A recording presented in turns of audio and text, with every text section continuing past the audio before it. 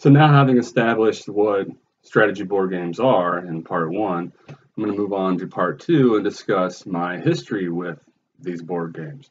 Beginning with my fateful first introduction, I have a vivid uh, memory of you know how I was introduced to strategy board games.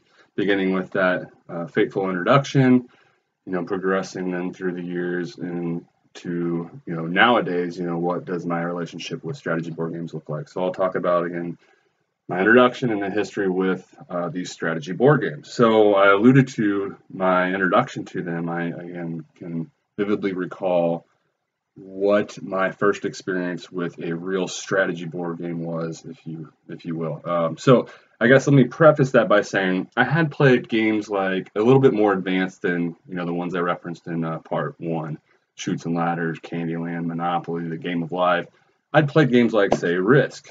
Um, I don't think, uh, maybe even dabbled at that point with, say, Axis and Allies, but I'd never played anything else up until the point, I want to say it was maybe the summer of, yeah, summer uh, of 2008. So uh, my daughter, we just had my firstborn, my daughter Abigail, and she loved to take naps on dad's chest. And I remember oftentimes, as she would do this during these summer days, going on to Xbox Live Arcade back when I had this opportunity, right? When I didn't have four kids running around. And she'd be taking her nap, and I would be playing this game that I stumbled upon called The Settlers of Catan. That, my friends, is was my gateway game, what they call, or those in the hobby refer to as gateway games.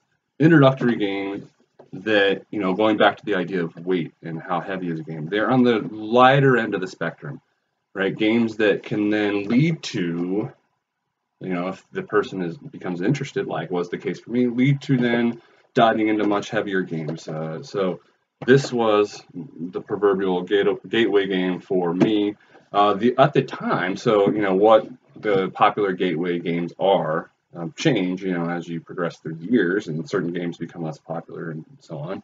But the two that were by far the most popular when I first uh, got into the world of strategy board games was Catan and then Carcassonne. And I have the big box for Carcassonne here, which means that you know, so that after games become super popular, they'll release big boxes for them where they become the, the regular game and then all the expansions, or at least some of the expansions that have been released, you know, since the original game. Um, so anyway, this though, granted, I have Carcassonne and played Carcassonne. It was really the Settlers Catan, and in particular, playing it on Xbox Live Arcade. That was my the, the experience that stood out to me, where I was like, "Whoa, what? This is awesome! You know, what is this awesome game where you have to think and um, you know you can build uh, resources up and establish like certain strategies and different uh, paths to victory as i referenced in uh, part one what what this this game this kind of a game exists i was floored and i played it uh, i you know i've referred to in my videos i think especially you know, episode zero how obsessive I am. And I played that game constantly when I first discovered it. Like probably literally every time Abby was taking a nap, I was playing that game. Um, and so that was my first introduction to the wonderful world of strategy board games. Once I discovered these games existed, I moved on. You know, I played Catan, and not not only was it my introduction to strategy board games, but it was the, the, the gateway game for many, many others, many thousands of others as well. Um, so it's been immensely popular. Again, Carcassonne was, uh, was extremely popular and still is as well. Now, personally, I will say that I've moved on in some sense. I can't even tell you the last. Um, I've moved on because it has a little bit, again, going back to what I discussed in part one, has a little bit too much luck or randomness for my liking. Um, you know, what you're doing in, in Catan is you're gaining resources kind of based on die rolls. So there's still die rolls in Catan, right? Uh, so hence there's going to be some luck factor, randomness involved. And so you can have the best numbers in the game in the sense that the most likely or probable to roll. And then just because fate would have it, right, during the game, don't roll. And so, um, you know, the idea is over time that probably is all a wash, right? The, the better numbers really do roll more often and so on. But the fact of the matter is, in Catan, you can play really well you can make the most optimal decisions possible and still just lose through no fault of your own. And so, again, great gateway game. While it's my interest in it has waned over time, I you know I'll never lose my debt of gratitude for the game and for introducing me to the wonderful world of strategy board games. Um, granted, again, it has a little bit too much luck involved, given you know the point I, I raised earlier. Uh, a little bit too much luck involved for me nowadays, at least given all these other great games I have as well. But having said that, it still has a, spot in my collection because again, it's a great gateway game. If there's uh, you know, games with a certain, with a little bit more luck, um, those are great games to pull out when you have gamers and non-gamers playing together because it's going to mitigate. Right, the more luck you throw into the game, it's going to mitigate more of the um, the, the advantages that the, the gamers would have, right? Those that play strategy board games often, right? It's going to mitigate their natural advantage um, and put the non-gamers sort of more on equal footing. So there's a, a, a place, certainly a place for this sort of game, and not to say like non-gamers are you know dumb or anything like that, but hopefully you get the idea, right? That the strategy board gamers are going to be more familiar with how strategy board games work in general and and so that's obviously going to give them an advantage uh, amongst other things. So uh, again, great gateway game, still a great gateway game, still has a spot in my collection, and will never lose. I will never lose that debt of gratitude I have for again it opening my eyes to the wonder, wonderful world of strategy board games. I do have one of its expansions, Traders and Barbarians. I've played this game so many times online as well, where you can play, you can find places to play not only the original, but then you know the, all the expansions as well. Actually, recently, so uh, went over for a game session with my son and his friends, and then some of the dads, and they had a by mistake bought an extra copy of the five to six player expansion and said, "Here, you can have it because we can't return it anymore." Um, although, I, like I said, I don't remember the last time I played Catan anyway, so I don't know when I'll be pulling that out. But um, that's my Catan stuff, and again, uh, Klaus Teuber, Teuber, I'm not sure how you actually say his last name. Thank you, Klaus, for again what you've done for me. I will never forget it. So that was my introduction to strategy board games. Granted, I had played, you know, Risk. I wouldn't really consider. I guess there's some strategy involved, but there's there's just too much again. Rolling dice and randomness. It's kind of, I guess, maybe for me, in between like the games I grew up with as a kid, like Life, uh, Monopoly, Chance, or sorry, uh, Chutes and Ladders, Candyland, and so on. And then in between those kinds of games and like then actual strategy board games, if you will, Risk would be somewhere in the middle. It's kind of on the way. Uh, it's not even to Catan, I would say. So, but I just want to say it, it wasn't as if I had never played anything like this. Risk, right? Insofar as that's close to a strategy board game, I had played that maybe like a handful of times in my life. But otherwise, I'd never played any strategy board games until I discovered Catan, and that again opened my eyes to these kinds of games.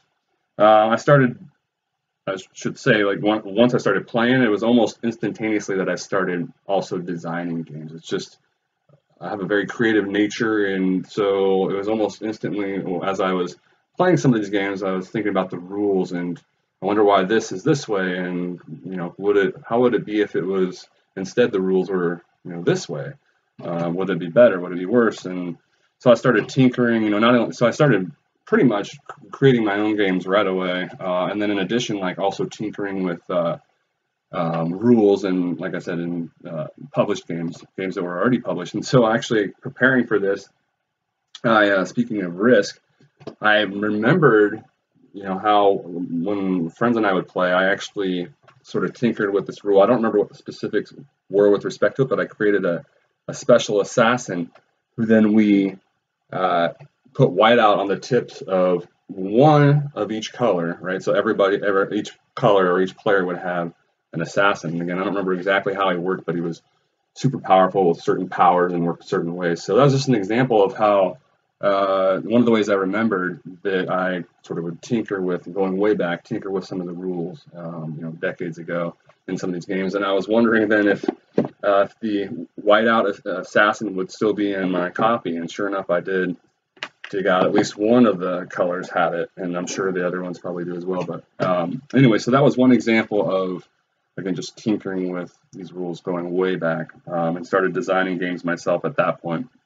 So over the years, reference playing like Risk with friends. A lot of us have probably played Risk. Um, a good sort of social game. It can create some uh, intense feelings as well. But I've introduced, so again, I was fortunate enough to discover these games back in 2008. And since that time, I've introduced pretty much all my good friends, or tried to, to you know strategy board games. They've played pretty much all my close friends have at least tried strategy board games, playing them with me. You, you know, oftentimes my own designs, but then also Catan or any other games that I might bring to to their house on a Friday night or something like that. Uh, and so one, you know, one example of a good friend of mine who graduated, he went to a, KU grad school with me, and uh, you know, I introduced him during that time to strategy board games, and so he became became very immersed in them as well. Has a big collection, and so whenever you know, we live in different places now, but then whenever we get together, we will literally all we'll do is just play board games. He, he and I, uh, and for you know, he has. Uh, we both have like gaming groups. Uh, I'm not able to attend mine near as regularly as he is, so he he's able to get his fix maybe a little bit more often than, than me. Um, but you know, so that that is awesome when he when we visit because we're both able to sort of get our fix then, and we just play. Literally, that's pretty much all we do is these strategy board games. We'll literally play like 30 games in a row. Like he'll oftentimes he'll come visit me, stay you know stay here, and morning to night we'll be playing strategy games. And the last time he visited, I wanted to say we played literally 30 games over the three day visit. So um, shout out to Joe. Uh, we haven't been able to do that as much due to recent events with the virus and whatnot, but um, thought it would be worthwhile to point out how you know I'm affecting then all my friends and you know some family members and so on, and trying to get them suck them into this what I consider to be wonderful world of um, strategy board games. Um, oh, so one other like funny kind of story that uh, I guess kind of speaks to how involved some of these games can be too. That I remember, and that my wife and I will chuckle at sometimes. Um, so this is way back, um, way way back when I first started playing, and this was with respect to Axis and Allies, another game that's a little bit more involved, right? Definitely more involved. It's a war game but not as intense as you know a lot of other traditional war games that gamers will be familiar with. Right? It's kind of the gateway game to war games, if you will. Um, but anyway, I remember uh, one time, shout out to Dan, another friend of mine. We were uh, setting up, we're getting ready to to play this game, the new game we had just purchased, Axis and Allies, and uh, my wife was leaving with some of her friends to go to a movie, go out to eat and whatnot, and so we're getting ready to play. And she says, "Have fun."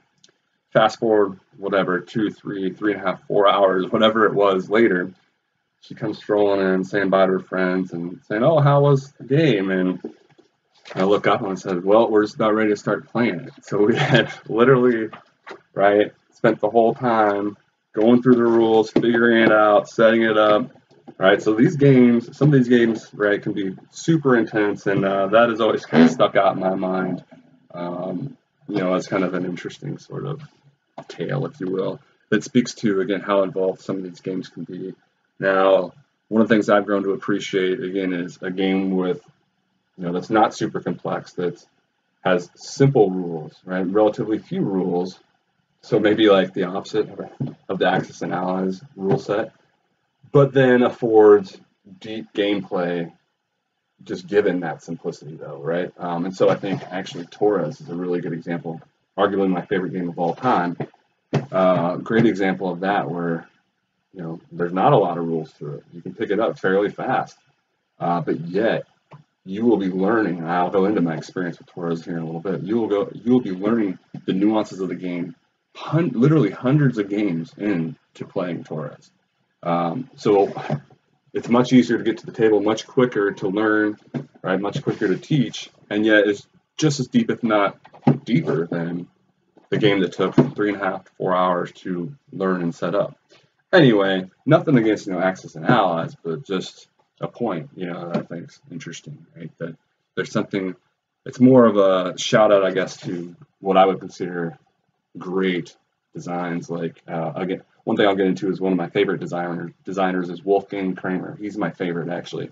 And so he and Michael Kiesling designed Torres. And so it's more speaking to the polish or why games like Torres are so good. So Axis and Allies offers some depth, right? It's an enjoyable experience, but again, it can be tedious to set up and, and learn. Torres offers all those other things and yet is simple and easy to set up and learn. So anyway, actually, as I mentioned, speaking about Torres, the next thing I wanted to sort of get into, and that's uh, I do play it's one of the things I wanted to mention with respect to the next point, and that's that I play online these days. Actually, I started playing online probably maybe three, four years after I started playing, you know, these physical copies. I discovered, hey, you can play a lot of these games online. Various sites uh, offer, you know, various games for free, oftentimes. And so one of the sites that I have definitely played most often at over the years, I think it's God. So I know if you just look up Yucata, that'll get you there. Uh, over a hundred games, you know, published games they offer for free. And the thing I like a lot about it, if you watched in my other videos, you know I hate advertising, and um, it's ad free. So really like that site. So shout, shout out to them. Uh, and so I remember playing there, you know, for, for at least a decade. Um, play there. The frequency that I play online definitely varies and depends on what's going on. But I will say, uh, moment to brag. Speaking about Torres, uh, mentioning Torres. So if you go online to Yucata, I'm actually and have been the number one rated player on their website for Torres for uh, quite some time, and uh, it's kind of like I said a bragging point. But, but mentioning Torres, one thing I wanted to say is so I mentioned this earlier.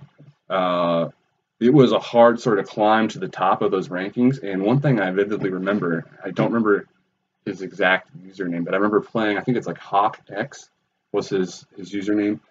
I would, and he was super highly ranked, and we would have these duels, and I would learn so much. You know, this is after playing hundreds of games. I would learn so much about a different sort of playstyle, his playstyle, and then I would play other highly ranked players who would play completely differently. So again, that speaks to the elegance of this design and how even with very simple rules and not many of them, you can have this incredibly deep gameplay that emerges. And that's what I really like and would say stands out about Kramer's game, Wolf, his games in particular, Wolfgang Kramer. Kramer. That's what I really like about his games, in particular Torres. Now I don't know, I have it so on Board Game Geek, right? I go and I rank all my rate all my games, and it's been number one for a long time. I don't know if that's just because I'm number one. That's the one game I'm number one at. I didn't mention, you know, all the other games that I played on Yucata and I'm not number one on are at, right? And who knows how many players, and it's on there, but how many players are even ranked, right, or have tried to play it. But um, yeah, so you can go on Yucata, and I play a ton of other games. I mentioned Stone Age. I think that was in uh, part one. I'd love to play Stone Age on Yucata uh, against you know, other really good players. And another game where you will see different paths to victory and different ways to go about trying to to win. Um, so yeah, I definitely have enjoyed playing online as well as you know physical copies. I've enjoyed playing online versions of these uh, strategy games. I mentioned sort of gaming groups. Uh, my buddy that we'll get together and play those marathon sessions. He has a gaming group, and I mentioned earlier how you know I've had various gaming groups mentioned going um, to a gaming session with my son and his friends and a few of the dads, and how we'll, we've actually gotten together a handful of times uh, for that gaming group, if you will. You know, we'll change where we, you know, we've hosted and other uh, parents have hosted and so on. And I have a, you know, another gaming group. I actually have gamed uh, rather extensively in a group with a former student as well. So that, you know, I would I mention oftentimes that to classes that I teach that one of my interests is strategy is strategy board games, and one of my students, you know, probably been almost a decade now.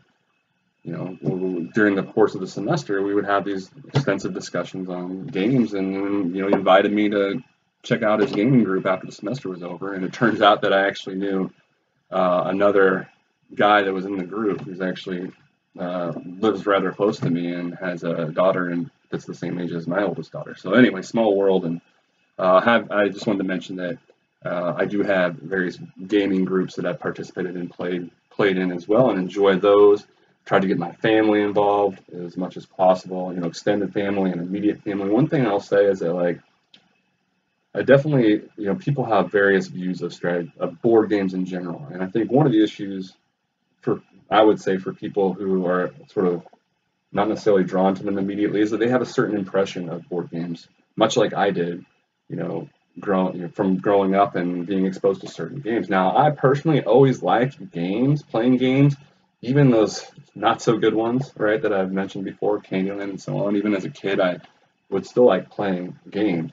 Um, but if that's your only exposure to what games are, then you know you'd probably be a little hesitant to you know get into the game world, right? Well, uh, again, so there's some hesitancy, and I think that that is oftentimes one of the, the sources of the hesitancy is that we have limited exposure, and many of us aren't familiar with all the awesome themes and rich gameplay that is actually available.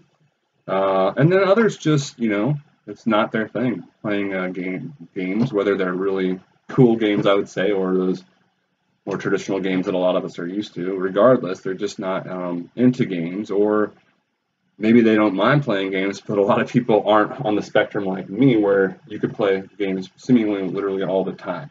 Uh, and so that's been kind of a whole point is that's been kind of an issue I've tried to navigate cautiously over the years um, because I want my you know people I'm around to want to play games with me, right? I want to have people to play these games with, but I don't want to like overexpose them to it, right? And make it so that they they're just sick of it, right? So, um, and I think that's sadly it's kind of happened with some with my kids uh, as they've gotten older. They just play it so much. I just wonder, like thinking back, how much I would have loved to have grown up with all the games we have, right? Um, that my kids have exposure, uh, the ability to play. How much I would have loved to have just not necessarily even played them, but to like dive into the games and, and explore the components and the rules and how they worked. And um, but that's again, that's just not for everybody. And when you grow up with that, then it's not as cool, I guess. Uh, and so, or over time, right? Even when it maybe was cool, again, if you you just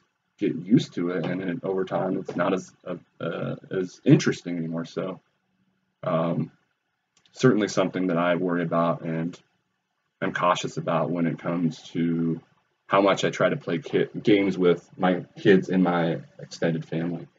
Having said that, I definitely do and have raised my kids playing games and think it's great that they're exposed to this huge library of strategy games where they actually one of the things I'll mention when I talk about in the next part the value of games is they can offer a great learning experience. You learn about you know different themes, um, different areas of history, and so on.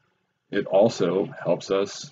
Right, I'll get into this more in more detail, but right, the calculated process and, and like thinking through things. Right, I think that these are all great things. So I'll elaborate on you know the boons of um, playing these strategy games with kids. Then, but so I just wanted to point out now that um, so fast forward now, I have four kids.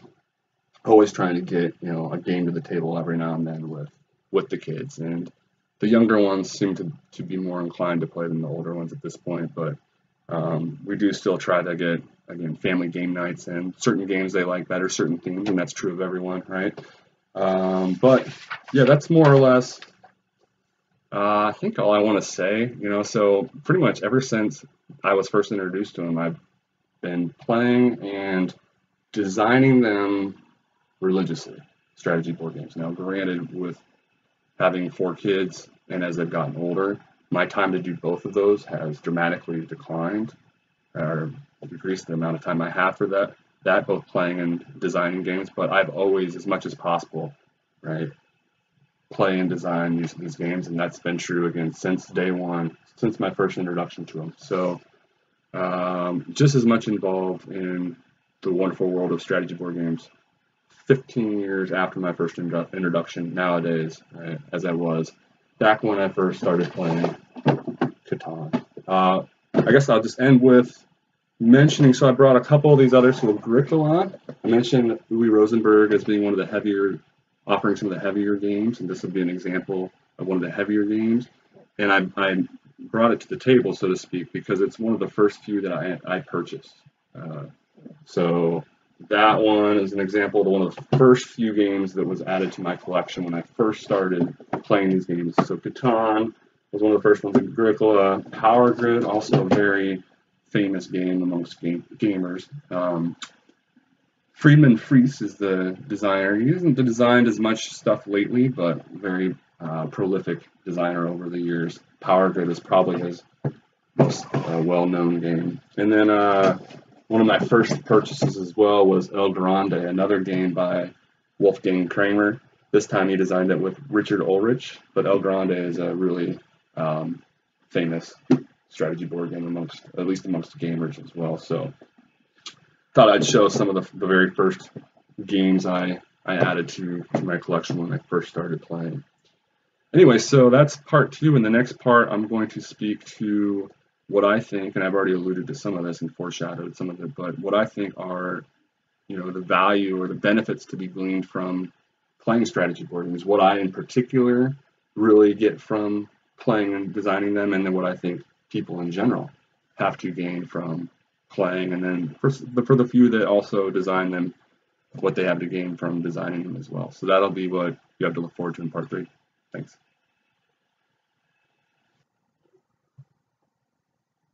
We're about to get real experimental here in this first episode of Experimenting with Existence because I'm going to, you know, this is such a deep dive. I'm going to add a part two to part two before we get into part three. So, what ended up happening is as I was preparing to record part three, it occurred to me that I left out a pretty important uh, aspect of part two, you know, my history with strategy board games. Insofar as, you know, I left something out while it's not directly, you know, strategy board games, it's not directly related to strategy board games, it is nonetheless related. And that is my history with strategy video games, which actually goes far further back. Uh, so I wanted to say a little bit of something about strategy video games and my history with these games and how the writing was probably on the wall in terms of me loving strategy board games when I would eventually discover them later, given my love for strategy video games. So that's what I'm going to do here real quick before getting into part three, where I'll talk again about, you know, more or less why I think we should play strategy board games, what we get out of them. Um, but okay, so this short spiel about strategy video games and really, again, how that should have been. Um, if any, anybody that knew me back then, that would probably been a good indication that I would like strategy board games later on down the road. And so I guess really, again, it goes, my, my I was trying to re- remember my very first experience kind of with a strategy video game that I really fell in love with. And that goes back to the Sega Genesis. I remember so way back to my, my youth. Some of you probably many of you viewers, no doubt, don't even maybe know what a Sega Genesis is. Maybe you haven't even heard of it. It's a very old school uh, video game system. So this is way back. I went and tried to dig out what I could of my strategy Sega Gen. I actually have some of them. So these are ancient. These go back way, way back to my youth. Tried to dig out what I could. I didn't spend too much time trying to get get uh, the games out, but I found a couple of them that I'm mentioning here. I, I have this vivid memory, okay, going back to playing Sega Genesis and some games in particular on the Sega Genesis. So one of them is this one, Aerobiz Supersonic. Loved this game.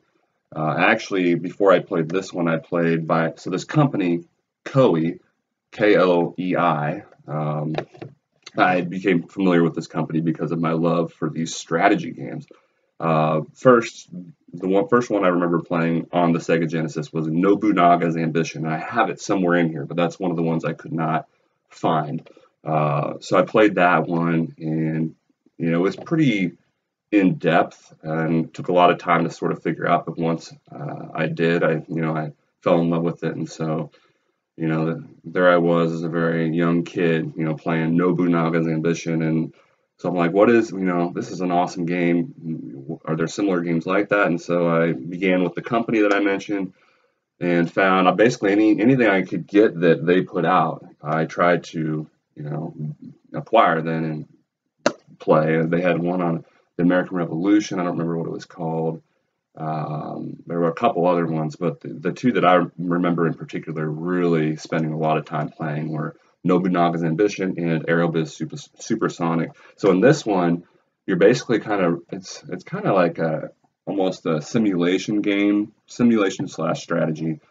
Uh, so you are basically you own a uh, an airplane uh, company. And so you're tasked with sort of setting the prices, you know, the flights, buying the airplanes, and uh, but I love the choices involved, and you know, certain uh, airplane companies that built the parts for the airplanes, they would have sales, and so I love the different choices involved, and when you know, when should you focus on uh, purchasing, you know, airplanes and increasing your supply of that versus you know running advertisements and trying to promote certain flights and so on. And so uh, and then, then you had to pay attention to your competitors too, right? Who are doing the exact same thing, and really loved that, and spent a lot of time again playing playing this one. I'm actually trying to get my hands on. So preparing for this, uh, I got got so nostalgic. I, I, would like to go back and actually play this, and so um, would like to maybe pick up a, a, Sega Genesis. We don't have one anymore, um, but uh, man, I just remember spending so much time on that. And another one that I did come across that it it it uh, is definitely strategic and involves again the long-term planning sort of thing. And there was a lot of choices involved. F- uh, Fight through the tyrants, and I spent a ton of time on this one. I remember loving this this game as well. Uh, so those are so so that goes back to the Sega Genesis era, way back to my childhood, way before I discovered strategy board games. Um, but they were at a very similar feel, and so that should have foreshadowed, like I mentioned earlier. You know, wouldn't be any surprise. Fast forward when I discovered strategy board games, which basically capture, you know, the same sort of feel of the video game, but in a sort of physical way. Uh, there, no doubt, there shouldn't have been any doubt that I would love strategy board games as well.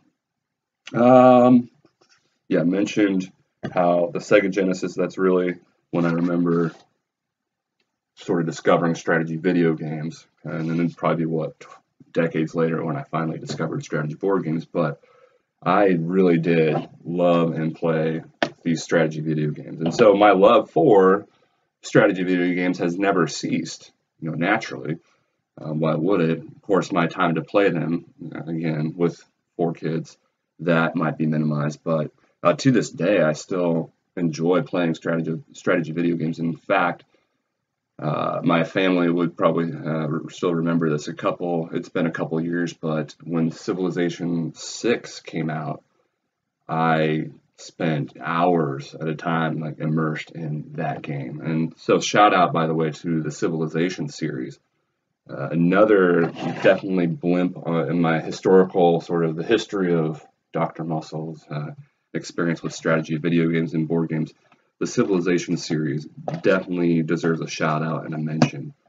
So when I discovered Civilization, I remember way back in high school going over to uh, a classmate's house, and he, he had had up civil this game Civilization, and you know I had asked him about it. I was over to do a, a project, and so you know we didn't really play it, but he kind of mentioned what it was like, and I remember thinking that it sounded really fascinating, you know, interesting but I never played it for you know a couple decades really until I finally ended up. I don't remember how it was that I finally came to play Civilization 4, but this was a game changer for me. I uh, really fell in love with Civilization 4. Uh, spent, like I said, hours and hours and hours. And I mentioned a couple years ago that was actually Civilization 6. So Civilization 4 probably goes back, what is it, seven, eight years, even further further back than that, decade ago.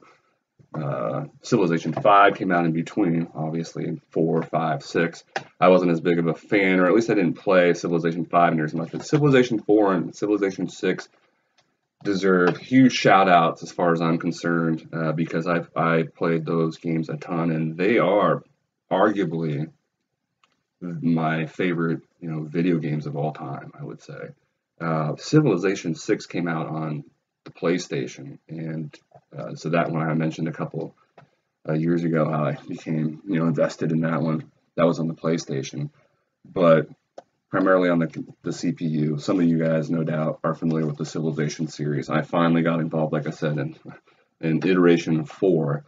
But C- Civilization 4 and Civilization 6 in particular, spent a ton of time playing, love those games. And I guess the last thing I, I have to mention is how it's been interesting, kind of segueing off of the civilization discussion, how then there is this relationship between strategy video games, strategy video games, and strategy board games. You know, uh, in particular, how you'll get when one is is popular, you'll get sort of that then adapted into the other. So, for example, you've had several examples of strategy video games that have been adapted into, you know, the, so, so games that started off as successful strategy video games. So another one I would mention is XCOM. So further down, right, the console generations, I played a lot of XCOM, beat this game. Uh, played XCOM 1 as well on, uh, what was it, Xbox 360 or something like that. Couldn't find that one for, for some reason, but uh, XCOM is an, a, a, perfect example of, and that one actually is a, a good one to discuss in terms of the, the tactics versus strategy distinction because there's both tactics involved when you have these battles with the aliens, and so so half the game is like you're you're on these missions and you have to take out, let's say, certain aliens or defend certain uh, bases. So half of it's like that, and that is what I would describe as tactical. You have to engage with the enemies and they're moving and so you have to react to, to what they're doing uh, and so it captures that sense of tactics but there's also then half the game is strategic in the sense that you have this base then that you're developing and you have to decide you know what elements you want to invest in and you know which ones you don't and who you should recruit and what types of uh, soldiers you should you should recruit and so on so all those are um, you know examples of strategy that are involved in the game but anyway, so there's that strategy tactics element of XCOM. But uh, the reason why I was originally bringing it up is it's an example of, to my knowledge anyway, the video game came first, right? A successful strategy video game that then was adapted into a, a awesome board game, I might say as well. A cooperative board game, and it's uh, got real time elements. So that's another mechanic. I don't know if I, I don't think I discussed that. The real time element where you, part of what you're doing in the game is on the clock, right? You're facing some time element involved. And so that is involved um, here in the, the board game, right? And it's cooperative. That's another sort of tag you here associated with board games. That just means, right, you're working together. Uh, you're either winning together or you're losing together.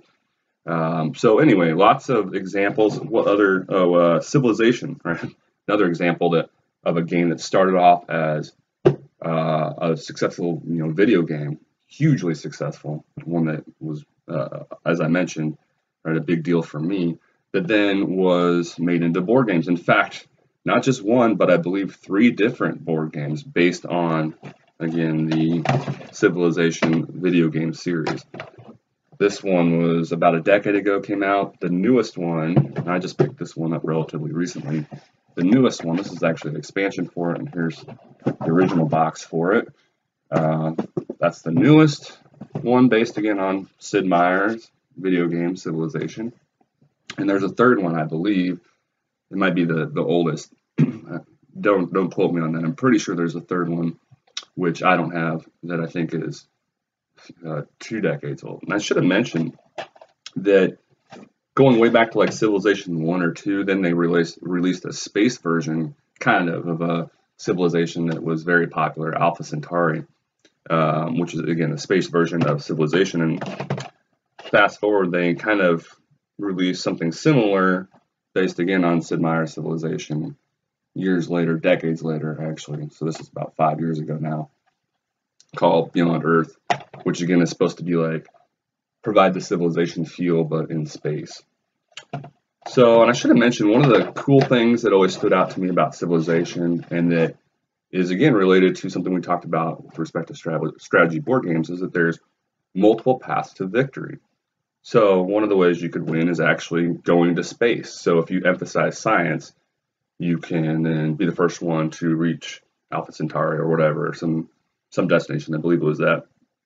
But you can then, depending on which iteration of the game you're playing, you could achieve an economic victory by amassing so much, you know, wealth, or you could, in all the uh, series, you can, you know, get a domination victory where you take out all the other civilizations. And one of the cool things about civilization as well is that there's all these historical leaders that are in the game, and so you'll pick one, and they have all these various traits. And so, certain ones, Napoleon, you know, are more inclined to uh, combat and you know taking you out and spying on you and so on, and others, you know, Gandhi, are more inclined to be peaceful with you.